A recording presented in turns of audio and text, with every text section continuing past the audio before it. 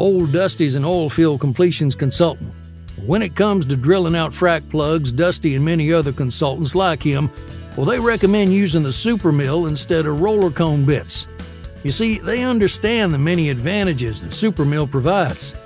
Well after well, our super mill drills out more frac plugs in less time than any other tool on the market, resulting in huge savings on well completion costs.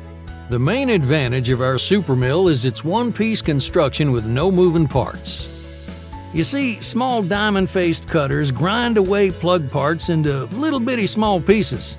No moving parts means nothing to break off during the drill out operation. This is important because roller cone bits with small rotating cones and tiny bearings often fail at some point during the drill out operation, leaving broken parts in the well. Now, when a roller cone bit fails, it becomes necessary to stop the operation and you gotta fish the broken parts from the well. And that adds additional expenses such as idle rig time cost, fishing, and labor cost.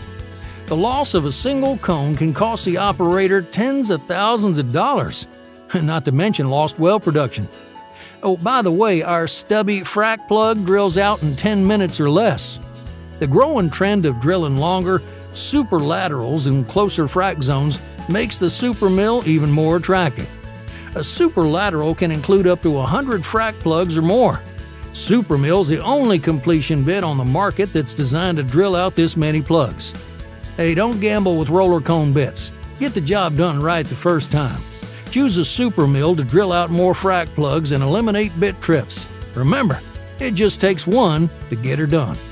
Visit us online at www.supermill.us or contact us for additional details on this product and other popular products, including our hydraulic breakout tool and Safety Connect frac water hose fittings.